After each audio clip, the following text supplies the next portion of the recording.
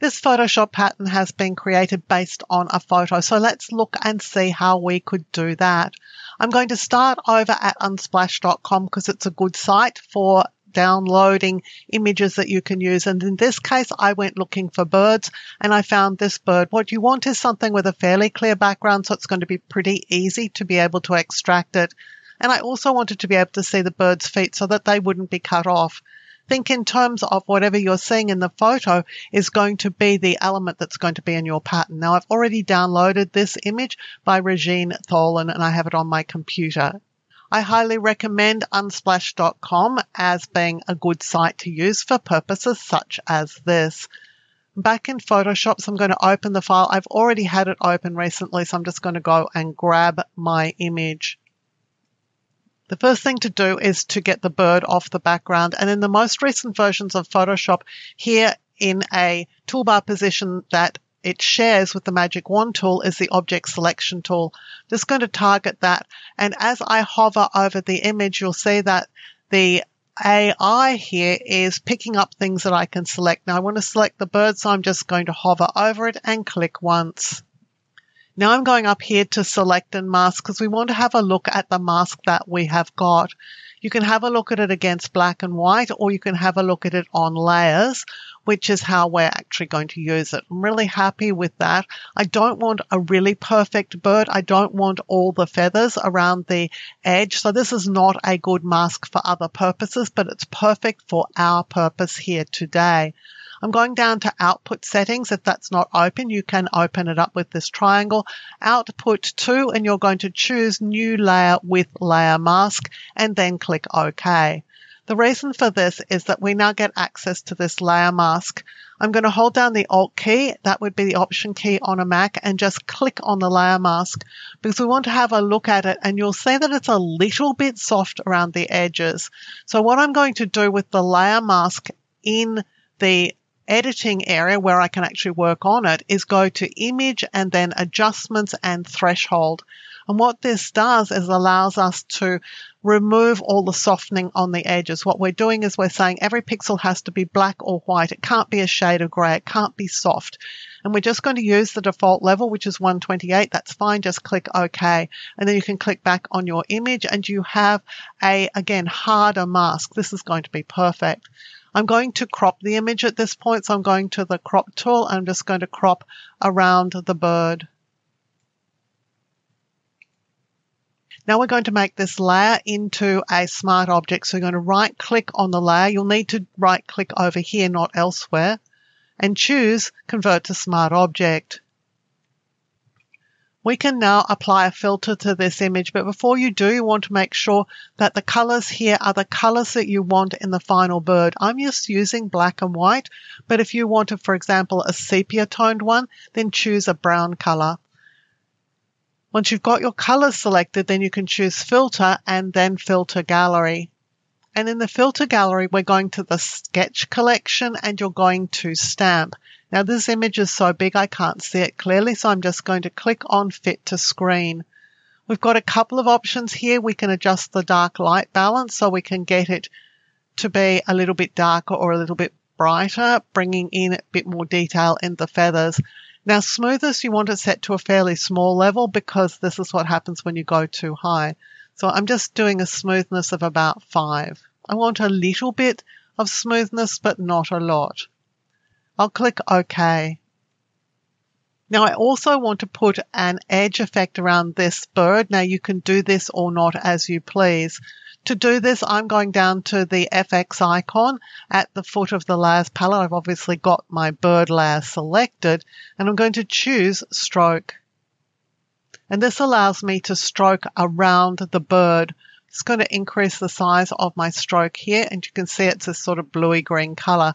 This is also the point at which we can see that we've got a fairly nice edge to our selection doing it the way that I just showed you. We haven't got the edge effect coming out away from the bird. It's tucked in really nice and closely around the bird. If you want to choose a different color, you can do so. I'm happy with this sort of turquoise color. I'll click OK.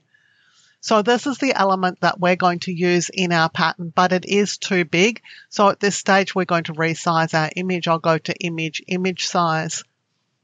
I'm going to choose an image size of 800 wide by 644 pixels tall.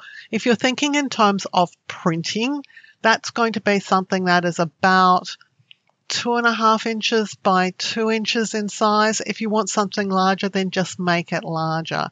But this is the size that I want for my element. So I now have a document here that's 800 pixels wide by 644 tall. For my actual pattern, I'm going to create a brand new document with file and new. I'm going to make it a little bit larger than the bird itself. So I'm thinking 1200 by 1200 is a good size. I'm going back to my bird image. I'm going to grab this layer here, just grab it and drop it onto the tab for my pattern document. If I hold the shift key as I drop it, it's going to be dropped into the very middle of the document. Now we want another one of these, so I'm going to grab it and drop it onto the plus sign here. So we now have two birds. I'm going to turn the bottom one off. We're going to work on this top one.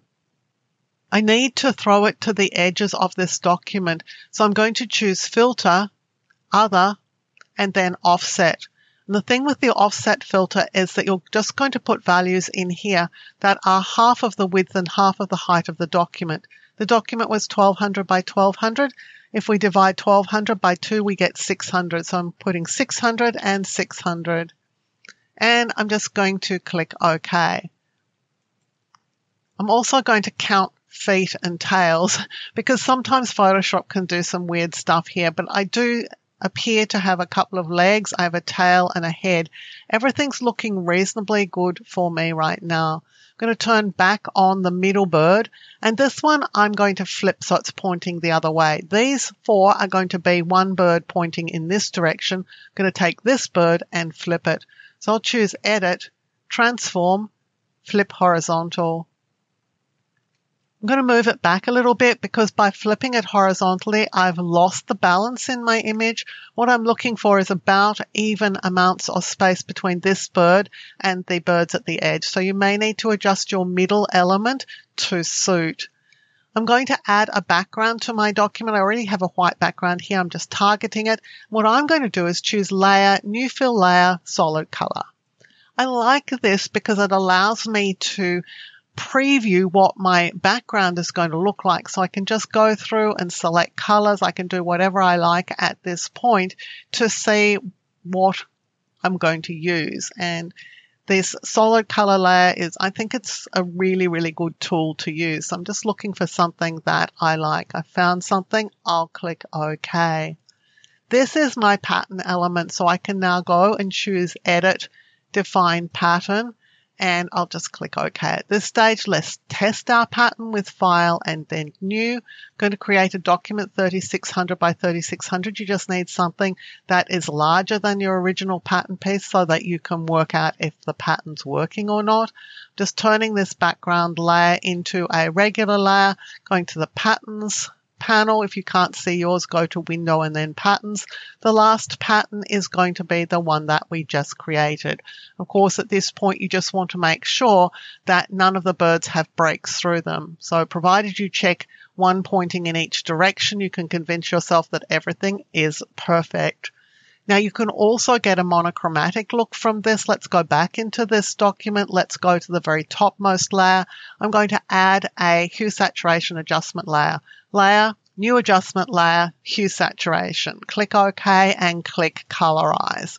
And now we can adjust the saturation and the lightness and then adjust the color. So this is going to give us a monochromatic look. We've got sort of a dark purple, a lighter purple and a sort of mid purple here.